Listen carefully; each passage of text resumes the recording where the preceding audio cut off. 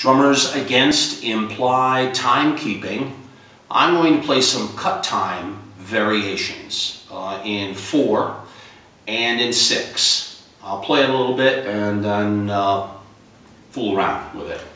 This is the four.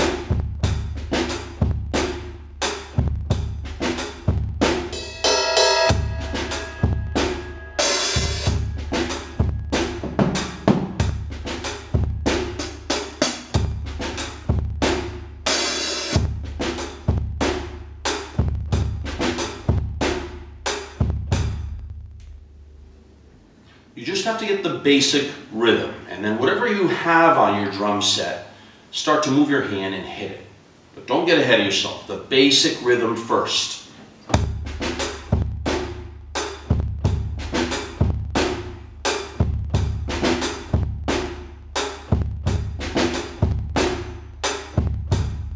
Just work on that rhythm.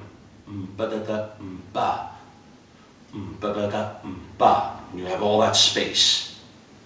Now the six uh, is just a variation on that.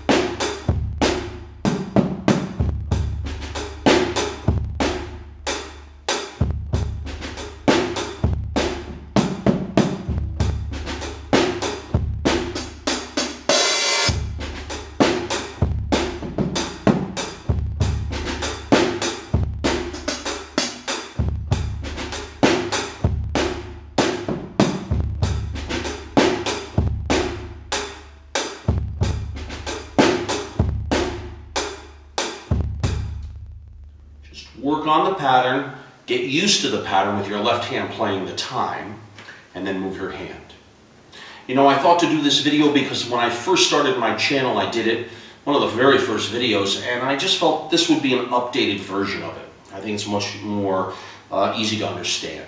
So hopefully you like it. It is a great video because you can apply it to anything slow you're playing, and you can articulate it without finding ghost notes and various things. You can have an option now. But you have to learn to just get your left hand as a timekeeper. And that left hand can move over to the bell or whatever percussion you have on your left side as, as well.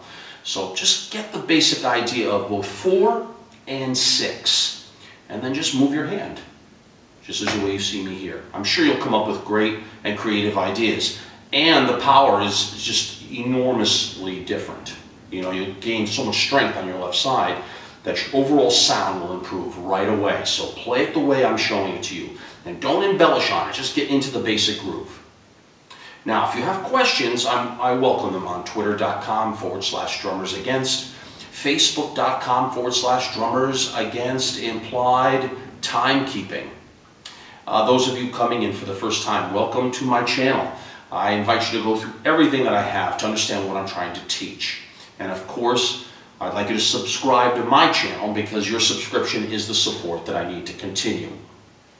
And it allows me to come up with new ideas. And I think that's the issue for me, is to get you to think in more of a creative way and increasing your power by playing in an open-handed position.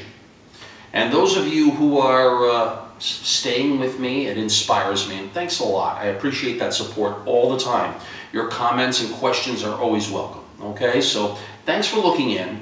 Uh, this is a cut time variations in four and in six. So I want you to experiment with this and let me know how you like it. All right? My best to all of you. I look forward to hearing from you. Take care.